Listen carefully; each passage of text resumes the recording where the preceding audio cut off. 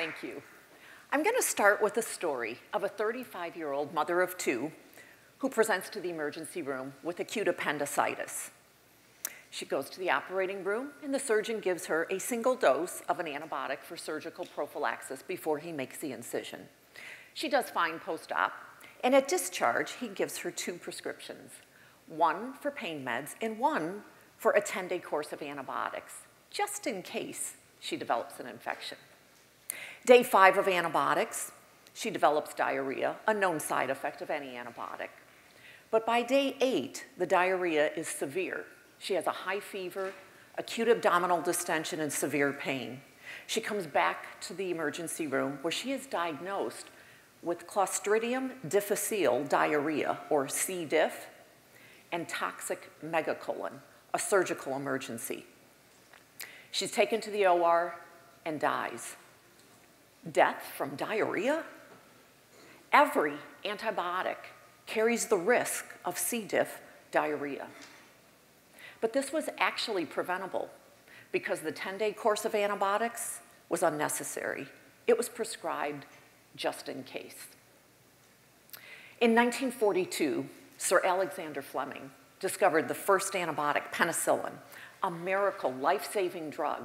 But he forewarned, if we misuse, overuse, or abuse antibiotics, the bacteria will begin to mutate and create what we call superbugs. Superbugs are bad bacteria that are resistant to many antibiotics, or in some cases, every single antibiotic we have. You see, our bodies have an ecosystem. It's called the microbiome. There's good bacteria that are susceptible to antibiotics, shown in blue, and there's bad bacteria that are resistant to antibiotics in pink.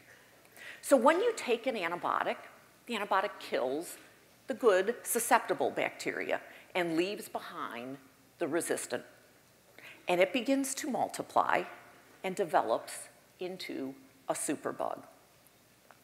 What's even more concerning is you can acquire a superbug without ever taking an antibiotic. The FDA states over 80% of antibiotics in the United States are actually given to feed animals, not because they have infections. Antibiotics are used in tiny doses in animals as growth promoters. A cow with a superbug can actually give that superbug to a human by two ways, either by direct contact with the animal or by eating meat. So the Centers for Disease Control has stated we are no longer to use antibiotics as growth promoters in animals.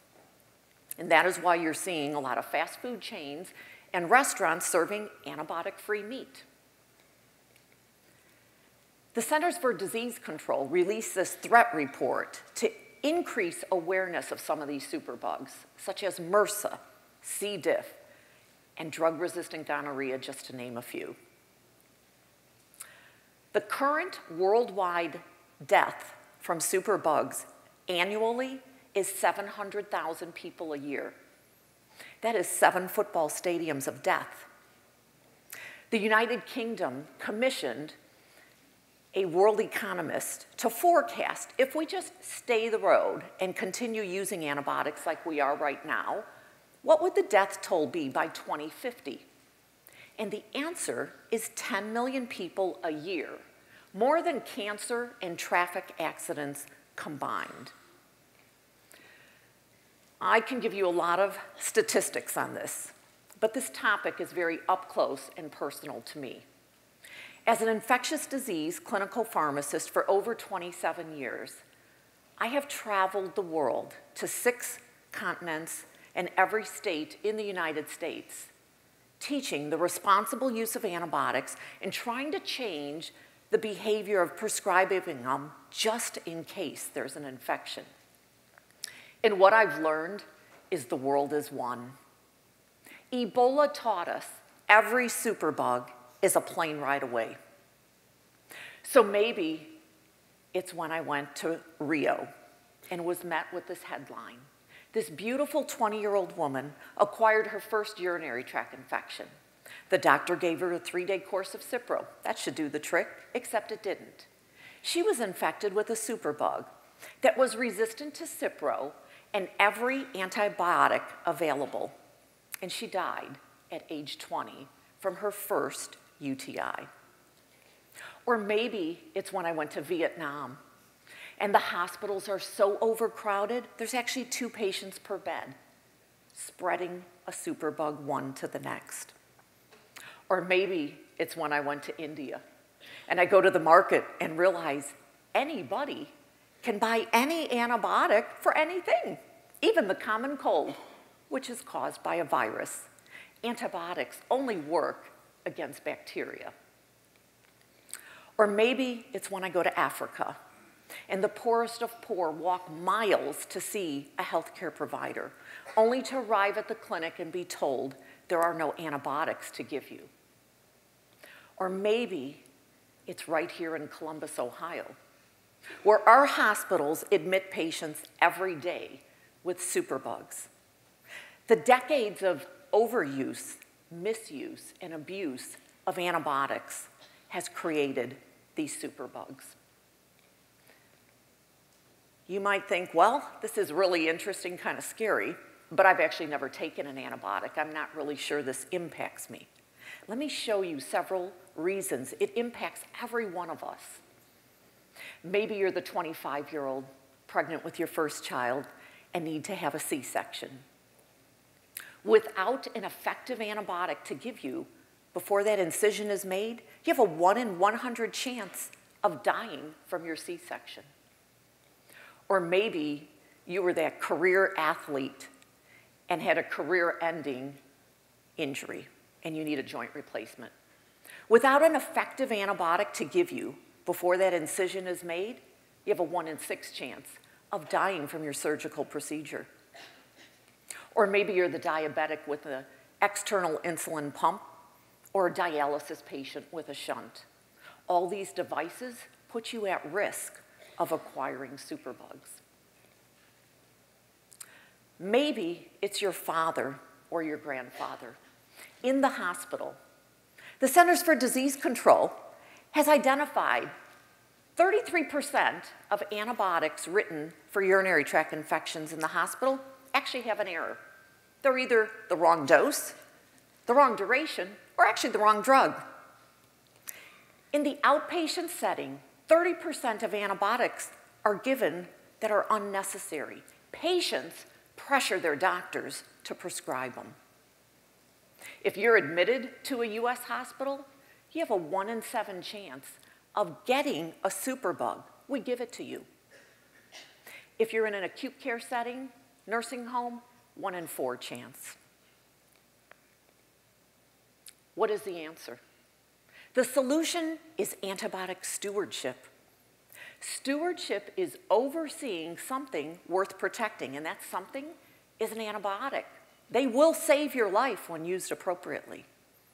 Antibiotics are societal drugs. The more we use them, the less effective they become. And one person's use can directly impact someone else. So let's see how everybody can be a steward of antibiotics. As the consumer, you feel a cold coming on, you feel terrible. You call your doctor. Doctor, I feel awful. I don't have time to be sick. I need a Z pack. That's without stewardship. With stewardship, doctor, I feel a cold coming on. Here's my symptoms. What would you recommend I take? You see, I'm concerned about the overuse of antibiotics and the risk of C. diff and superbugs. I am an antibiotic steward.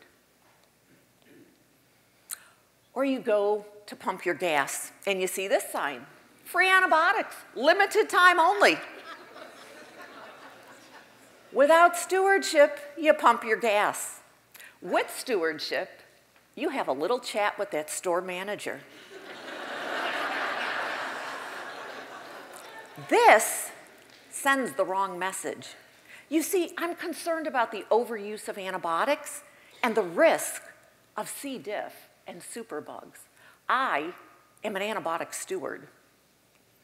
Or maybe you go to your favorite restaurant you order a steak. Without stewardship, you just eat it. With stewardship, you ask your waiter, do you serve antibiotic-free meat here? You see, I'm concerned about the overuse of antibiotics in animals and the risk of C. diff and superbugs. I am an antibiotic steward. Or maybe you are the patient in the hospital. Your healthcare team comes to examine you, and without stewardship, you smile at them. With stewardship, you ask, Have you all washed your hands before you touch me?